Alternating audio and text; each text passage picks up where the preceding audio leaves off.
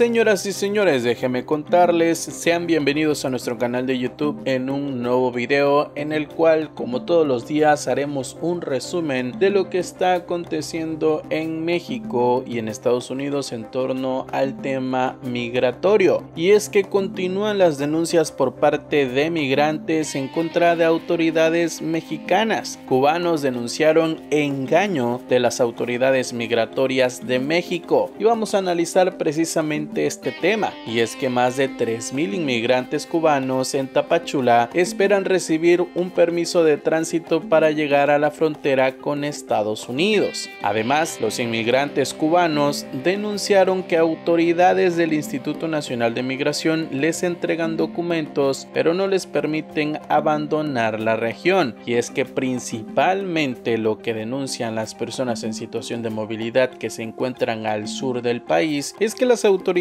migratorias los están engañando, prometiéndoles que les van a dar documentos, pero que cuando reciben estos documentos después de esperar semanas o meses, son engañados, pues no sirven para nada los documentos que les dan. Sin embargo, si conocieran un poco de nuestro canal y todos los videos que hemos hecho durante estos últimos meses, entenderían que los documentos que da el Instituto Nacional de Migración no funcionan para ir a la frontera con Estados Unidos. Solamente les da 30 días para abandonar el país. Es decir, por lejos, el Instituto Nacional de Migración no es la instancia donde tienen que ir para solicitar documentos. En todo caso, sería mejor acudir a la Comisión Mexicana de Ayuda a Refugiados o la Comar. ¿Para qué? Para que puedan tramitar su asilo dentro del país. Además, entre las afectaciones entre comillas que denuncian los migrantes es el retardo de la entrega de los verdaderos permisos de tránsito por México.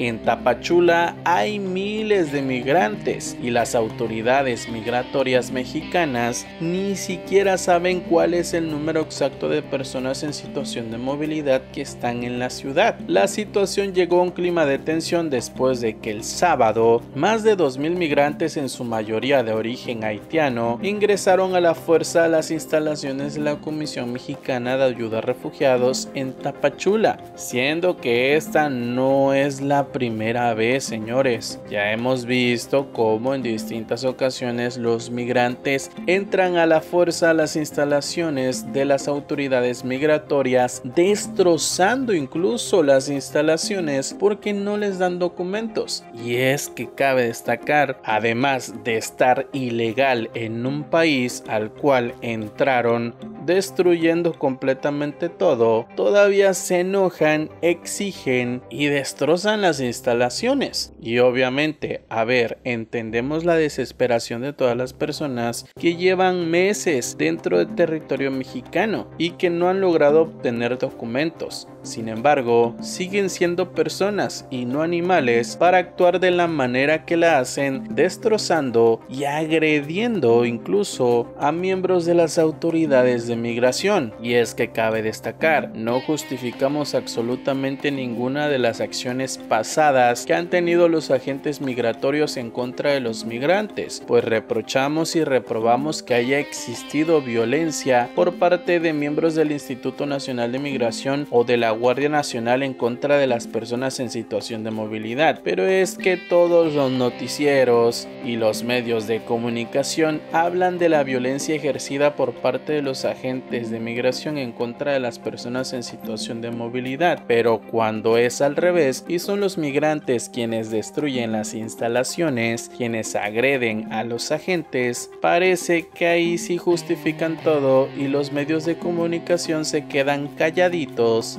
victimizando a las personas en situación de movilidad y justificando que esta actitud agresiva es porque llevan mucho tiempo esperando. Disculpen ustedes, pero en ninguno de los dos casos, ni los agentes violentando a los migrantes, ni los migrantes violentando a los agentes, tiene justificación alguna. Pero claro, esa es la forma de verlo de nosotros. Cada quien puede tener su opinión. Según indicaron medios locales, los migrantes saltaron los muros y derribaron vallas para protestar por la demora de las oficinas de la ciudad en la tramitación de los permisos. Son tanto los casos que están saturados los servicios de inmigración. Y ya lo hemos hablado, principalmente esto se debe a la falta de personal, a que el gobierno no ha prestado atención a mejorar el servicio por parte de las autoridades migratorias y además a las miles de solicitudes que se reciben diario que es imposible que se haga el trabajo rápido. Expedir el permiso para una persona a la cual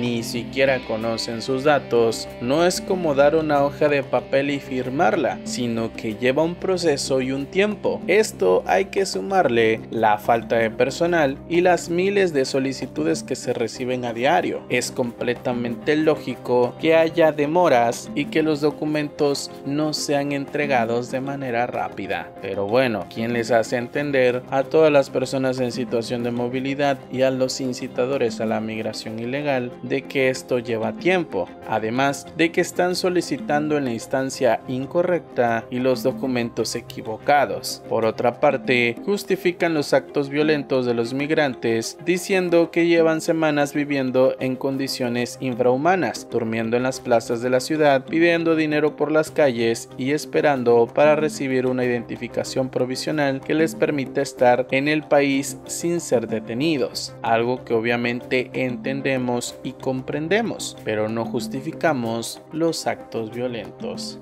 Y mucho ojo, esto no se trata de xenofobia ni mucho menos, porque luego hay gente en la caja de los comentarios diciendo que nosotros estamos en contra de la migración, que discriminamos y muchas cosas más. Disculpen si les molesta que les digamos las cosas como son, pero es que aquí no victimizamos ni justificamos a los migrantes, ni a las autoridades, ni a los responsables directos de este problema. Aún así, este fin de semana se informó que más de 3.000 inmigrantes cubanos están retenidos en Tapachula sin el permiso de tránsito por México. No pueden llegar a la frontera con Estados Unidos, que es su objetivo principal, a pesar de los radicales cambios en la política migratoria estadounidense en enero. Cabe destacar amigos, no entendemos por qué los migrantes insisten en ir hacia los Estados Unidos, o al menos a la frontera entre México y Estados Unidos, si al intentar entrar al país de las barras y las estrellas serán deportados, detenidos y en muchos casos